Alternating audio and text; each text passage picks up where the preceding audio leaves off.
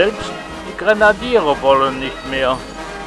Wie ein Rasender stürzt der Alte daher, erhebt den Stock und schreit unter Beben.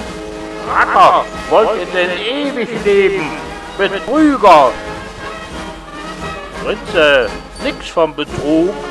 Für 15 Pfennig ist heute genug. Hurra!